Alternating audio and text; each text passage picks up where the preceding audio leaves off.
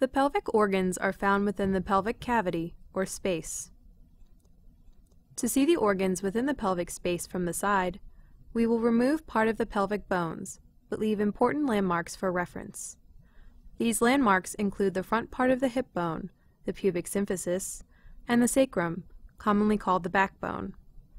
The organs within the pelvic space include the bladder, where urine is stored before it is eliminated through the urethra, the rectum, where feces are stored before they are eliminated through the anus, and the uterus and vagina, along with the ovaries and fallopian tubes, make up the internal female reproductive organs.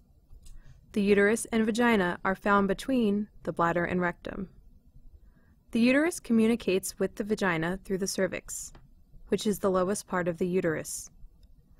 The vagina is a hollow organ that can be separated into three different sections or compartments, anterior or front, posterior or back, and central or top. The pelvic organs are supported by the pelvic floor muscles and by connective tissue that attaches the uterus and vagina to the bony pelvis.